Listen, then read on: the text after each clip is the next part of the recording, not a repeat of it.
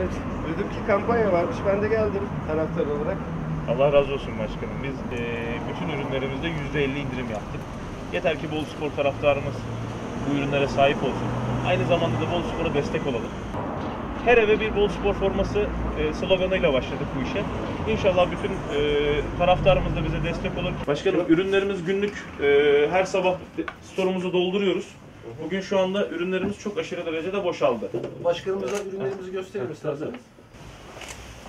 Evet, düşünmüşsün. Yakıştı başkanım size. İnşallah havalar Tabii bu, şey- bu ürünlerimiz normal şartlarda 250 liraydı başkanım. 120 liraya indirdik bu montu. Evet. Sadece sırf vatandaşlarımız alabilsin diye. Şöyle Evet, ben de ben de tabii vatandaşlarımıza, taraftarımıza çağrıda bulunuyorum. Bol Spor'a destek bugünlerde gösterilir. Kulübümüz de bu ürünlerle ilgili %50 indirim yaptı.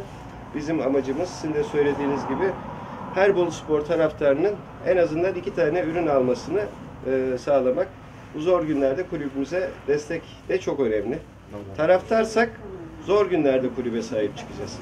Yoksa iyi günlerde herkes sahip çıkar. Bunları bağlı. evet bunları taşıyorum. Ne kadar borcumuz?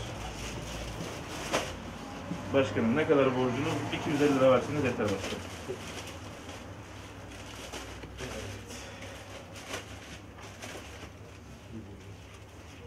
Şunu da üstünü de bağış kutusuna. Tamam başkanım. Allah razı olsun başkanım. Tamam başkanım. Hayırlı olsun. Teşekkür ederiz. Ayağınıza sağlık.